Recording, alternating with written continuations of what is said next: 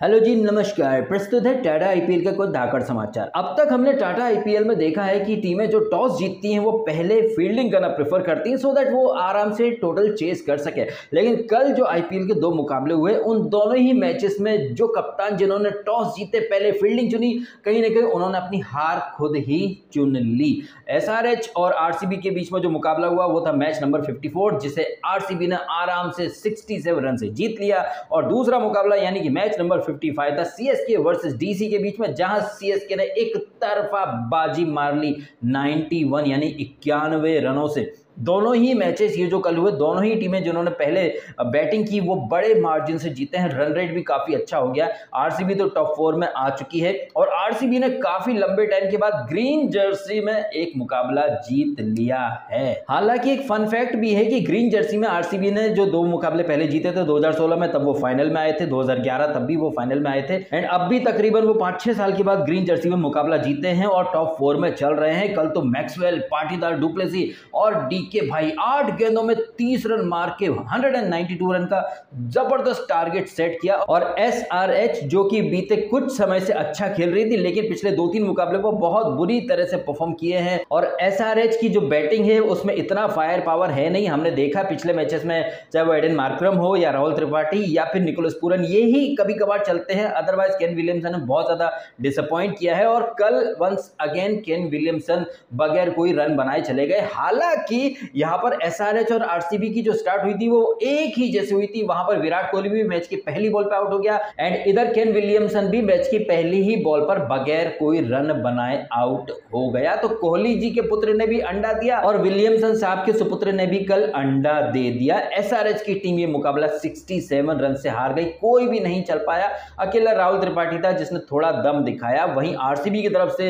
Du Plessis ने कप्तानी पारी खेली। रजत पाटीदार ने मोर्चा संभाला। मैक्सवेल ने अच्छे तीस के आसपास कुछ बनाए और डीके भाई ने अच्छा फिनिश किया। तो आरसीबी अभी विराट कोहली रन नहीं बना रहा, इसके बावजूद आरसीबी अच्छा स्कोर कर रही है और एसआरएच में ऐसा कोई बल्लेबाज था नहीं जो टिक करके खेल सके काउंटर अटैकिंग इनिंग खेल सके। एंड एसआरएच जिसकी बॉलिंग इस टूर्नामेंट में सबसे अच्छी बॉलिंग है नट्टू नटराजन है, भुवनेश्वर कुमार है, उमरान मलिक, जो ताबड़तोड़ स्पीड में एकदम बॉल फेंकता है, लेकिन उसी ताबड़तोड़ स्पीड में वो रन भी लुटाता है। कल तो उससे चार ओवर भी कोटे के पूरे नहीं मिले, दो ओवर में ही पच्चीस रन लुटा गया। तो एसआरएच की जो गाड़ी है वो पटरी से टोटली उतर चुकी है। अब यहाँ से देखते हैं वो कम कर पाते या नहीं कर पाते। कम से याद आया कम सुपर किंग यानी कि Chennai super kings Chennai super king इस टूर्नामेंट के जो पहला हाफ़ था, वहाँ पर एकदम ब्लंडर पे ब्लंडर कर रही थी जब से धोनी आए हैं। हालाँकि पिछला मुकाबला ये लोग हार गए। एंड अगर देखा जाए ना तो डीसी के ऊपर चेन्नई का डीसी यानी डेविड कॉनवे 49 बॉल 87 रन पाँच ज़बरदस्त छक्के मतलब डेविड कॉनवे अकेला भारी पड़ गया पूरी डीसी के टीम के ऊपर। तो कहना गलत नहीं होगा कि डीसी वर्सेस डीसी की लड़ाई में डीसी अकेला बाजी मार गया और दिल्ली कैपिटल यानी डीसी की पूरी टीम आंधी में उड़ी चली गई। न वार्नर चला, न ऋषभ चला, न ललित यादव, न अक्षर पटेल, न लॉर्ड ठाकुर और न ही रोबन पावल का पावर कुछ कर पाया। 208 का टारगेट इनके सामने था। उम्मीद थी कि डेविड वार्नर, ऋषभ पंत और वो रॉबिन पावल ये ताबड़तोड़ तरीके से बैटिंग करेंगे, लेकिन नहीं, ये लोग सिर्फ़ 117 पर ही लुढ़क गए। एक बड़े स्कोर का प्रेशर कहीं ना कहीं बहुत ज़्यादा हावी हो गया। और वो सीएसके के बॉलर्स जो निब्बा निब्बी बॉलर्स थे, कल सारे के सारे बॉलर्स विकेट ले गए और मोइन अली भी तीन विकेट लेकर के चला गया। ज़बरदस्त अंदाज में चार ओवर में सिर्फ़ तेरह रन दिए और तीन विकेट लिए। वहीं आरसीबी का जो मुकाबला था दिन में, वहाँ पे हसरंगा ने पाँच विकेट लिया अठारह रन देकर। तो दोनों ही टीमों के स्पिनर्स चले हैं, वहाँ से हसरंगा चला है, यहाँ पर मोइन अली चला है। साथ ही साथ मुकेश चौधरी कहिए, सिमरजीत सिंह कहिए या ड्वेन ब्रावो सीएसके ने कल चारों खाने चित कर दिया है डीसी जहाँ सीएसके की टीम ने एक इंडिकेशन दे दिया है कि टूर्नामेंट के जो फ़र्स्ट हाफ़ में जो ब्लंडर किए थे, कहीं ना कहीं टीम उन ब्लंडर्स को सुधार रही है और आगे फ्यूचर के लिए ये टीम राइट डायरेक्शन में जा रही है। डीसी के लिए अभी हम ऐसा नहीं कह सकते।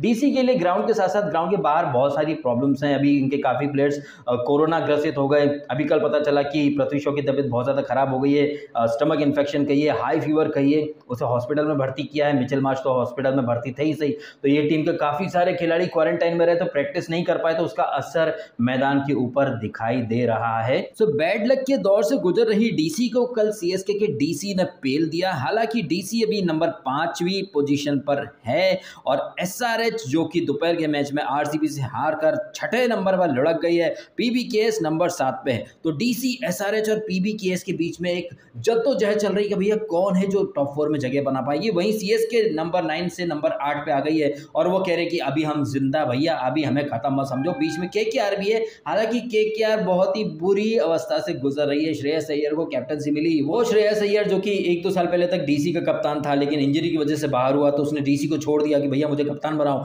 मैं कप्तान बन के खेलूँगा, नहीं तो नहीं खेलूँगा। अब भैया श्रेयस अय्यर तुम के के कप्तान बन गए हो, क्या उखाड़ लिया तुमने?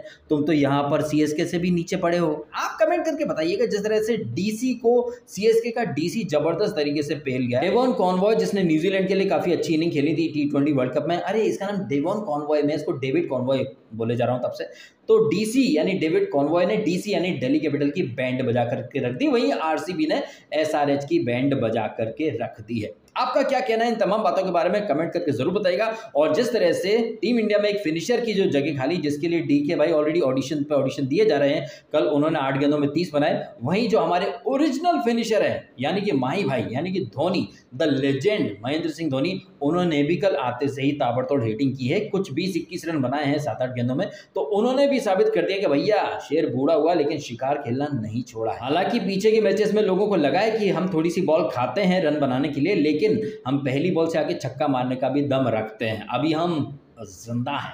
क्या कहना आपका इन बातों के बारे में? कमेंट करके ज़रूर बताइएगा। वीडियो अगर आपको अच्छा लगा है तो लाइक ज़रूर करें एंड कमेंट करें आपके ओपिनियंस। आपने समय निकालकर वीडियो देखा, आपका बहुत बहुत धन्यवाद। Thank you so much.